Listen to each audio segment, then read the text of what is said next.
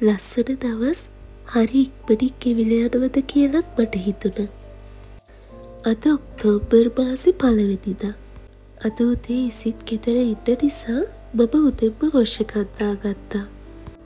අලුත් මාසෙ ලස්සනට පටන් ගන්න අද මම ගෙදර ඩීප් ක්‍රීඩින් කරගන්නවා. හැම මාසකම මුල්ම දවස්සේ මේ විදිහට ගෙදර පිරිසිදු කරගත්තාම මුළු මාසෙම ලස්සට වෙනවා කියල මට හිතෙනවා. මම හරි මාසයි මේ විදිහට ගෙදර පිරිසිදු කරලා ඉවරුණාට පස්සේ ඒ දකින ලස්සන පිරිසිදුකම දකින්න. ගෙදරක් ලස්සනට තියාගන්න අම්බට විතරක්ම බැහැ. අම්ප තාතා දරුව මේ හැමෝම එකතු වෙලා ගේ ලස්සනට පිරිසිදුවට තියාගනිද්දි ඒ සහයෝගය හරිම ලස්සනයි. ගෙදරක් ලස්සට තියාගනිද්දි මුල්පදේ තමයි ගෙදර හැබෝටම ලස්සනට ඉන්නෝනි කියන හැඟීම තියෙන්න ඕනි. ඒ වගේම ගෙදර හැම බඩුවකටම වෙගුණ නිශිත ස්ථානයක් තියෙන්න්නත් ඕනේ. දෙයක් ගත්තම ඒ ගත්ත දේ ගත්ත තැනින්ම තියන්න පුරුදුන හම අමුතුවෙන් ගේස් කරන්න ඕනි කියන දෙයක් නැහැ. දිනපතා කරන පිරිසිදු කිරීම් වලදී නිශ්චිත කොටසක් ස්ථානයක් වෙක්කරගෙන පිරිසිදු කරන්නයි මාසකට සැරයක් පිරිසිදු කරන පිරිසිදු කිරීම් වලදී අපිට සාමාන්‍යයෙන් කරන්න වෙන්නේ නැති මගහැරෙන තැන් ඒ වගේ තැන් හොයාගෙන පිරිසිදු කරාම මුළු ගේම හැමදාම ලස්සනට තියාගන්න පුළුවන්. අද මම කරන්නෙත් එහෙම පිරිසිදු කිරීමක් සාමාන්‍යයෙන් මගේ ගෙදර අස් කරන්න වෙන්නේ නැති මගහැරෙන තැන් හොයාගෙන තමයි මම මාසකට සැරයක් පිරිසිදු කිරීම කරන්නේ. ඉතින් එහෙම තැන් ගොඩක් නැති නිසා මට පිරිසිදු කරන්න හරිම ලේසියි. මම දිනපතාම කරන පිරිසිදු කිරීම් වලදී අනිවාර්යයෙන්ම මුළු ගේම අස් කරලා අතුගාලා පොප් කරන එක නම් කරනවා. ඉතින් අපිට තියෙන පුංචි එපාර්ට්මන්ට් එකක් නිසා ඒක මට ගොඩක් අමාරුත් නැහැ. අනේ මෙහෙම දේවල් කරන්න කම්බැලි නැද්ද වදයක් නැද්ද කියලා හිතෙනවන මමනම් මේ දේවල් කරන්න ගොඩක් ආසාාවෙක්. මොකද මෙහෙම පිරිසිදු කිරීමක් කරලා ඉවරුණාම ගෙදර පුදුම විදිහට නැවුම් වෙනවා. ආයිමත් හැමදේම අලුතෙන්ම අස් කරලා තියද්දී මුළු ගෙදරම අලුත් වුණා වගේ හැඟීමක් මට දැනෙනවා. ඒ නිසාම මම මේ වගේ වැඩවලට ගොඩක් ආසයි. සමහර වෙලාවට ඔයාට හිතෙනවන ඔයාගේ ජීවිතයේ තියෙන කාර්ය බහුලත්වයක්ත් එක්කලා කිසිම දෙයක් හරියට වෙන්නේ නැහැ කියලා එක වැඩක්වත් හරියට කරගන්න බැහැ කියලා මුලින්ම ඔයා කරන්න ඕනි ඔයාගේ කාල සටහන් හදාගන්න එක. කවුරු හරි කෙනෙක් හරිම සාර්ථක විදියට තමන්ගේ දවස ඉවර කරද්දී තව කෙනෙක්ට කරේ මොනාද කියල මතක නැතිවෙන තරමට දවස ඉවර වෙද්දී ඒක තියෙන්නේ අපේම දුර්වලතාවයක් කියලා අපි තේරුම් ගන්න ඕනි. අපි හරියට අපේ දවස කළපනාකරණය කරගත්තොත් අපිට ඕනවටත් වඩා වෙලාව තියෙනවා අපේ වැඩ කරගන්න. සමහර වෙලාවට මගේ ජීවිතෙත් තියෙනවා කිසිම මෝඩ් එකක් නැති දවස්.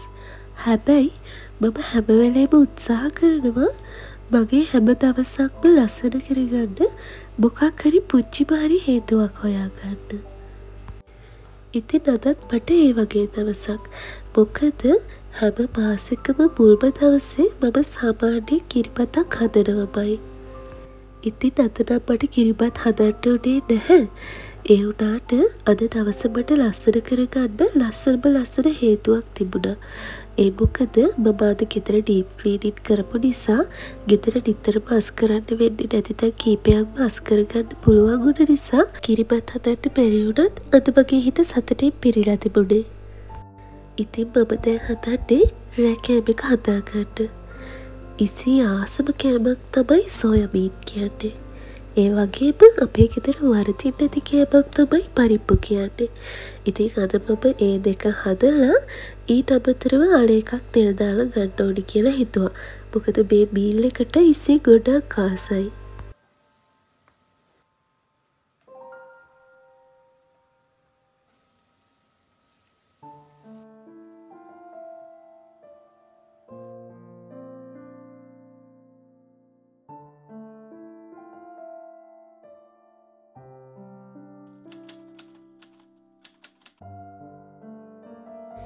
අද ඔක්තෝබර් මාසෙ දෙවනිදා. අද උදෙම බයිපුතයි කාලබීල ලෑස්ති වෙලා මේ යන්න හදන්නේ අපි දෙන්නට ටිකක් කලුත් ගමනක්. මුල්ම වතාවට ටිකත් දුරකට අපි දෙන්න විතරක් තනියම යන්න හදන්නේ. මොකද අද ඉසේ ගෙදර නැහැ ඉසේ ගියා යගේ යුඩියකේ වැඩ වගේකට සෙන්ට්‍රල් ලන්ඩ ඉතින් අපිත් හදන්නේ යා ඉන්න තැනට යන්න. අලුත්ම රටක පුච්චි පබැක්කි වගකීම් එක්කලා තනියම ජීවිතයට පුුණ දෙෙනවා කියන්නේ තනියම අලුත් අත්දැකීම් අභියෝග භාරගන්නවා කියන්නේ එතරම් ලේසි දෙයක් නෙබෙයි. හැබැයි අපේ ජීවිතයට එන අලුත් අත්දැකීම් අභියෝග මගහරිනවන ඒ අභියෝග භාරගන්න නැතුව ඒ වගේ පැනල දුවන්න උත්සාහ කරනවන කිසිම දවසක අපිට පිම්බ පඩින්න වෙන්න නැහැ. අපිට හැමදාමත් එක තැනකට හිරවෙලා බලාගෙන ඉන්න වෙනවා.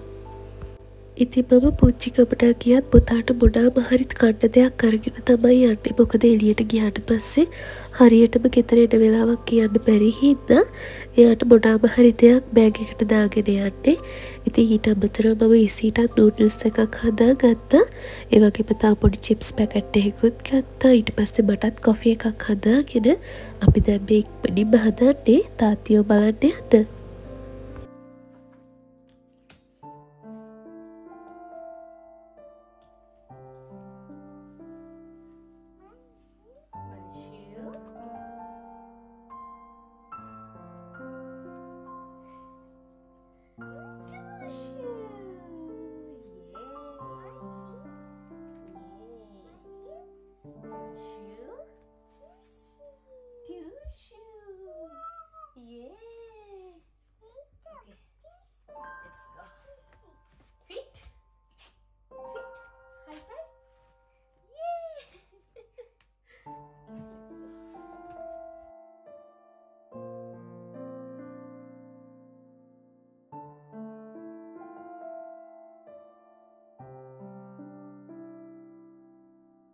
පුතා එලියට බැහල වැඩි වෙලාවක් යන්න කලින් නිදාගත්තා.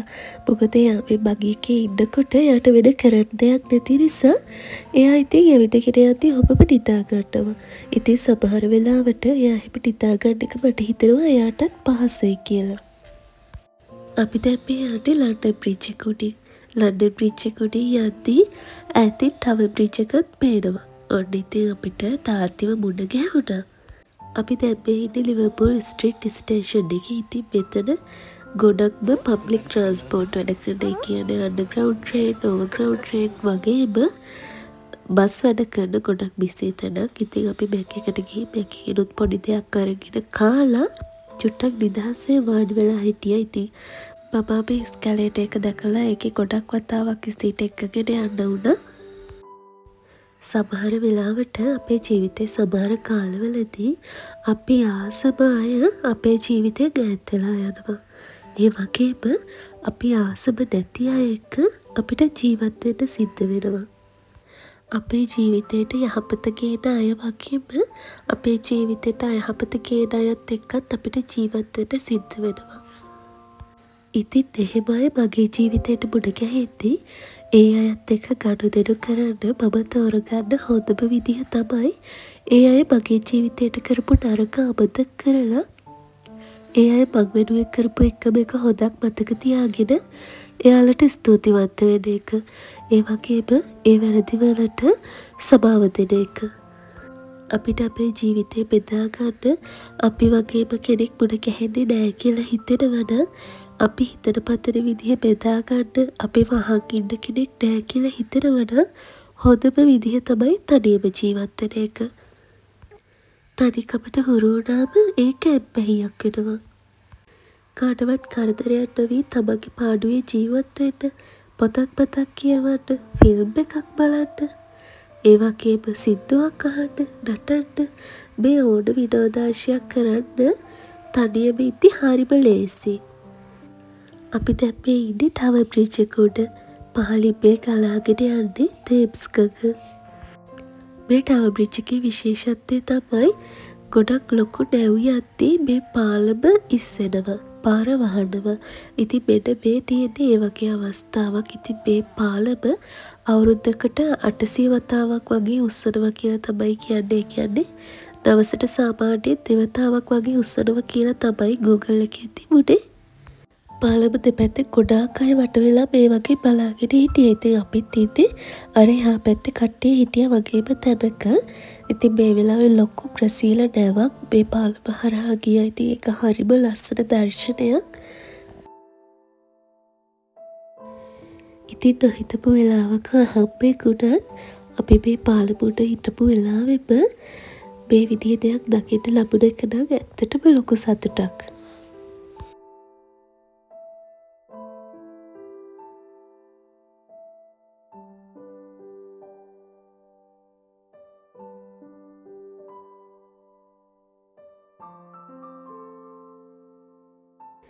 මේ තියෙන ටව බ්‍රිජ් එක අනිත් පැත්ත. ඒ කියන්නේ ලන්ඩන් බ්‍රිජ් එක පැත්ත. මේ තියෙන ටව බ්‍රිජ් එක. ඉතින් මෙතන ඉර බැහැගෙන යන වෙලාවට හරිම ලස්සනයි. ගොඩක් අය මෙතනට ඇවිල්ලා එන්ජොයි කරනවා. ඉතින් අපි ආපු දවසෙත් ගොඩාක් අය මෙතන හිටියා. ඒ වගේම සීත කාලේ ආවම මේ හරිය ගොඩක්ම සීතලලු. මොකද තේප්ස් ගක තියෙන හින්දා.